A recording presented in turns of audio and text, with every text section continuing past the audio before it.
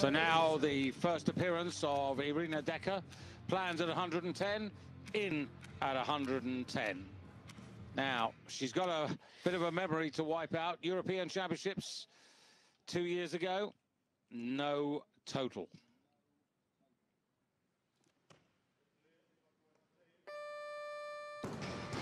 No worries with that start.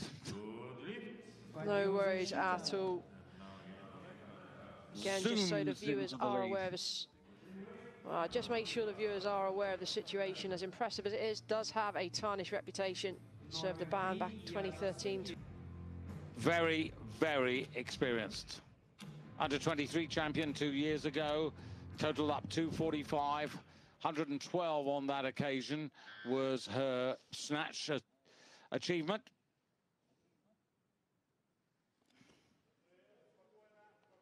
And that's the new personal best by a kilo, and that was easy peasy. I genuinely have no words for how easy these weights are flying. This should not be happening. This is unreal lifting. Bar swings a long way around the knees, and yet she's still able to be so strong overhead. The bar barely travels high enough to sneak underneath. We obviously, both of us wish her well, and hopefully it's not interrupted her planning for Tokyo to too great an extent because she would have obviously she's meticulous in her preparation. But Dekha, 115 kilos, new personal best, and it's there. Oh, did she Oh, put that it? down before That the buzzer? No, that was that was that should be a no lift, and it is. It is. You're absolutely right. We both got it at the same time. Put it down before the buzzer.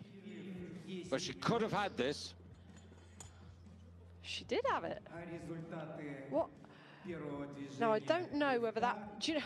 I'm just wondering if that was a lack of concentration and for just a split second she forgot where she was. That is overhead. Dekha, the gold medalist from the first part, but she could have been further ahead, but failed 115 kilos. So she comes forward with 113. This is 130, so this is for 243.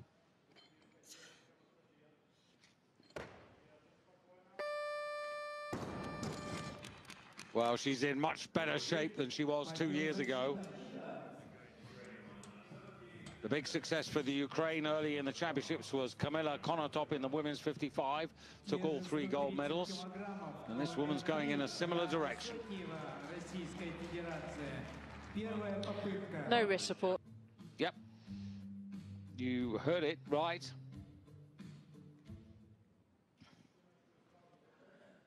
So now Dekha.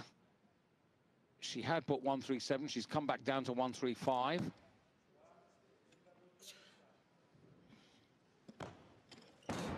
Ooh. Oh, the door is open. That's left her three kilos light. This for a total of 248. Obviously, it would put her into the lead in the clean and jerk. But if she doesn't do this, then Sotieva of Russia, with still one attempt,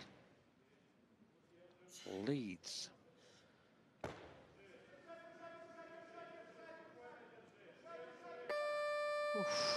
Oh, was she in control Yeah, before the she's buzzer fine. went? She's absolutely fine. The referees gave her the down signal before she was under control, but that's not her fault. She did regain control, even so, after the buzzer. Yeah, so she uh, goes into the lead for the Ukraine. Have a look at it again. Really, really good squat jerk. Technical precision here. Tremendous shoulder, functional stability, as well as a